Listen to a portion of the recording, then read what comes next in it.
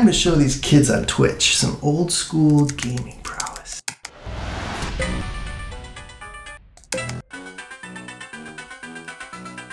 That's right. Nobody lines things up in rows and columns like Professor Joe Hellerstein. Come on, get in there, get down that column. Yes! Rows and columns. Grades. Don't worry, we aren't grading you on these data school videos. But I really do have to submit grades. For Computer Science 186, Introduction to Database Systems, it's my biggest class at UC Berkeley. I kid you not when I say that enrollment is up to over 700 students every semester. Now, obviously, you don't teach a class that big without an amazing team of teaching assistants. So let's see what they have set up for me, and I'll get to grading. Hey, it looks like my TA Lakshya sent me a spreadsheet. Lots of rows, but only two columns. That's what the grading system requires, so I'm sure that's what he built. But how do I know it's right? We have students' careers at stake here.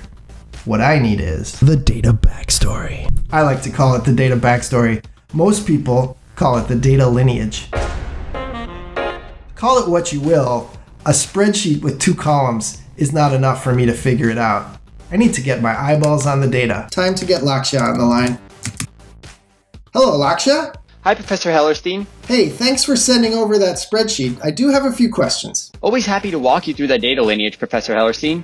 In fact, I shared my data wrangling flow with you in Trifacta. Want to have a look? Let me share my screen and we'll get to it.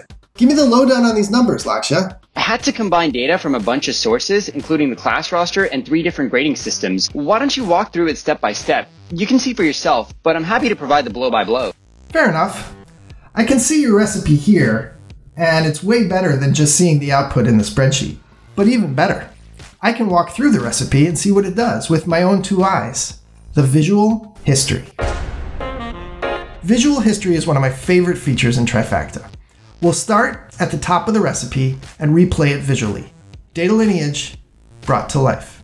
So, I can see that your first step is to join homework and midterm grades to the student roster. When you perform this step, the number of columns in the dataset increases because we're adding more information to each student's record. The same thing happens when you join in quiz grades and the final exam grades. Yep, that's correct. Very interesting. I can see you were able to flag the students that are part of the Disabled Students Program by doing a lookup against UC Berkeley's master list. Right. You'll see why in a minute, I'm sure. Okay, the next one's a tough one dock students for turning in the online final late. You created an if statement that excludes those DSP students, and it removes points based on the amount of time assignments are turned in late. Oh, and nice work. Make sure we don't dock so many points that their exam grade goes below zero. That would mess up the tally. Yeah, gotta watch those corner cases. Next, you total the grades for homework and midterm, and from there you just calculate quiz and final exam points, add it all up, and assign the letter grade. This is fine work, Lakshya. Thanks, Professor Hellerstein. Walking through this with the visual history, I almost feel like I could have done this without you, but I'm glad you're on the line. I do have a question. Could you have overlooked something here on line 22? I think we told the students we would drop their lowest quiz scores. Oh god, we do that every semester. That's okay. Since we're wrangling this data up in the cloud, I can just go ahead and collaborate with you on editing this recipe. I call that collaborative cloud wrangling. It's like Google Docs or Microsoft 365, but for data preparation. First, let's drop this sum up you did here. Then we highlight the quiz columns and pack them into an array called quizzes. Predictive interaction, remember? We didn't even have to type any code. Yeah, that's right. The recipe was actually mainly built this way. Now let's get the sum of that list and subtract out the minimum and drop that array column. I think that does it, and the edit history captures the details of our collaboration in the cloud. Speaking of history, collaboration isn't just about interaction in the moment. It's also about the things that happen over time, about letting the people that follow us build on our work. Or, you know how sometimes you look at data that you used a year ago? In that case, you're collaborating with your past self. We are not going to forget this in future. In fact, nobody is. I can export this flow and share it on GitHub. What do you think? I think you should commit, but I'm bum. Uh, that's a Git joke, Professor Hellerstein. right. Well, let's export Flow to my desktop as a zip file and commit it to our course GitHub repo.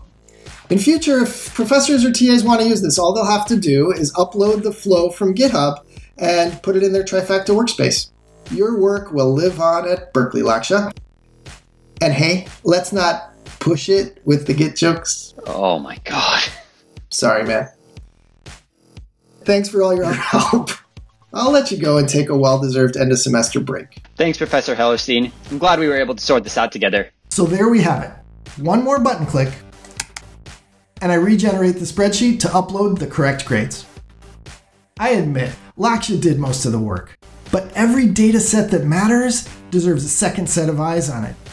The data lineage was critical to validating and correcting Lakshya's work. By walking through Trifacta's visual history, I was able to quickly get up to speed on his efforts.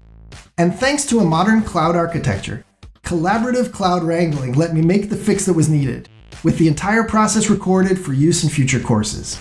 This is the way that effective organizations get their data right, by making it easy for the people to do the right thing. Okay then, now that those grades have been put to bed, it's time for the professor to get back to rows and columns, my friends. Rows and